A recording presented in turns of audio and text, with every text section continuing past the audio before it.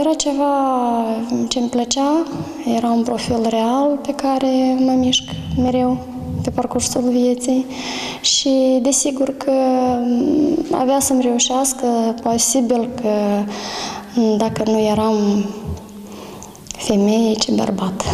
De Pentru ce? că specialitatea asta mai mult este întrebată de bărbați, adică într-un bărbat mai, au mai mare încredere ca într-o femeie.